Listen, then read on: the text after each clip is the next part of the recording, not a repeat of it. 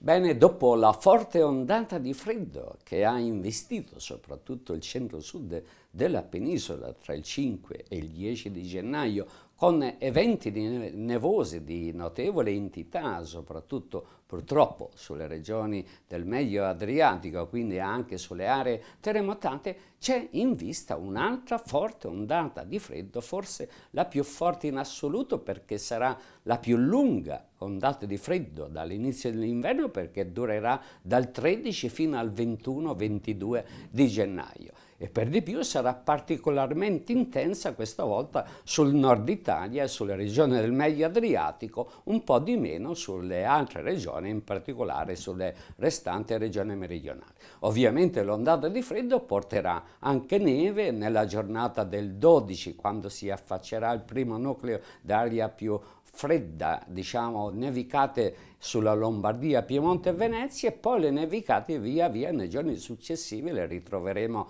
ancora su Emilia, Romagna, Marca, Abruzzo e Molise e probabilmente tra il 16 e il 20 quando arriverà un secondo nucleo di aria ancora più fredda le nevicate interesseranno prevalentemente le regioni centro-meridionali fino a quote collinari e localmente fino alle coste. Bene, termino qui. Un caro saluto ancora da Mario Giuliacci.